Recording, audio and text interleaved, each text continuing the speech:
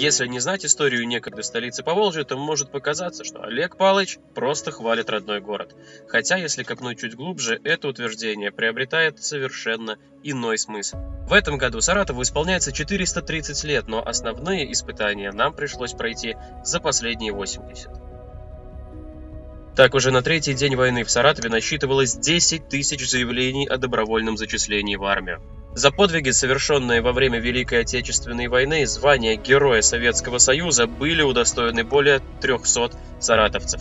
32 саратовца стали полными кавалерами Ордена Славы. По аналогии с Ленинградом, в годы войны путь по Алтынной горе из Саратова называли «дорогой жизни», потому что только по ней осуществлялось автомобильное сообщение с осажденным Сталинградом. Сегодня у начала этой дороги возвышается монумент воинам-автомобилистам. В Саратове была сосредоточена значимая часть оборонно-промышленного комплекса Советского Союза. 338 различных предприятий выпускали продукцию для фронта. На территории Саратова располагалось 35 крупных оборонных предприятий с общим количеством рабочих свыше 60 тысяч человек. Саратов – родина одного из самых известных самолетов Великой Отечественной войны. Было изготовлено 13 569 самолетов Як-1 и Як-3 всех модификаций. Каждый третий самолет Великой Отечественной войны был выпущен в Саратове. В разное время в крае находилось до 30 военных училищ и школ, которые выпускали десятки тысяч офицеров. В первые месяцы войны на производство добровольно пришли свыше трех тысяч студентов вузов и техник. Около 23 тысяч девушек и женщин. Тысячи подростков и пенсионеров.